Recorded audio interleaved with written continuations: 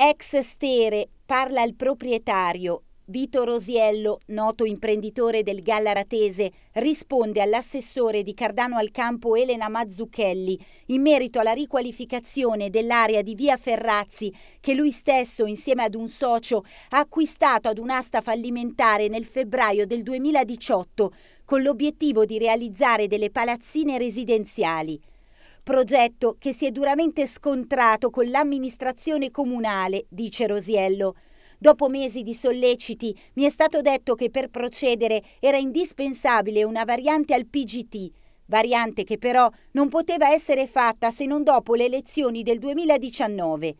Ma non finisce qui. Il PGT attualmente in vigore, prosegue Rosiello, prevede che il 50% della proprietà resti al comune, un paradosso, soprattutto se si considera che l'amministrazione comunale non ha nessuna intenzione di dividere con noi le spese di bonifica dell'amianto che ricopre i capannoni della ex Stere. Nel momento in cui ci siamo seduti a tavolo con il sindaco, con l'assessore e i tecnici comunali, la prima cosa che abbiamo detto, guardate che il vostro 50% si tradurrebbe poi alla fine in un intervento insieme a noi per l'eliminazione della dell'Eternit che c'è sulla, diciamo, sui capannoni per le demolizioni e, e quant'altro al pari, perché se siamo proprietari al 50%, al 50% si interviene.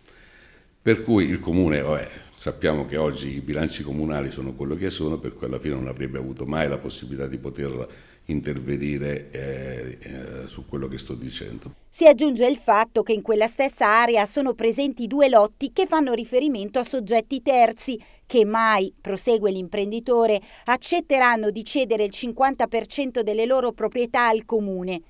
Pur di trovare un accordo, prosegue, abbiamo proposto di farci interamente carico dei lavori di riqualifica e messa a norma dell'area, realizzando sei piccole palazzine, una delle quali veniva addirittura proposta come cessione al comune a titolo gratuito, eh, diciamo con i parcheggi antistanti, oltre alla, diciamo chiaramente alla messa, alla messa in pristino dell'intera area, quindi viabilità, parcheggi, eh, opere di urbanizzazione e quant'altro, che comunque prevedono un investimento di circa 6 milioni di euro. La risposta da parte dell'amministrazione fu eh, ufficialmente che eh, dovevamo presentare una richiesta di variante di piano, ma contestualmente ci fu detto, e non ero da solo, che eh, trattandosi che eravamo prossimi alle elezioni eh, amministrative, pertanto se ne sarebbe parlato nella nuova amministrazione. L'indecisione dell'amministrazione comunale impedisce il rilancio della città, conclude Rosiello, quello che mi auguro è semplicemente che sindaco e assessore si diano da fare per sbloccare questa assurda situazione. L'assessore ha ribadito dicendo io finché sono lì, diciamo faccio, faccio l'assessore. Io sto aspettando soltanto quello, che l'assessore faccia l'assessore, che il sindaco faccia il sindaco e che io faccia l'imprenditore.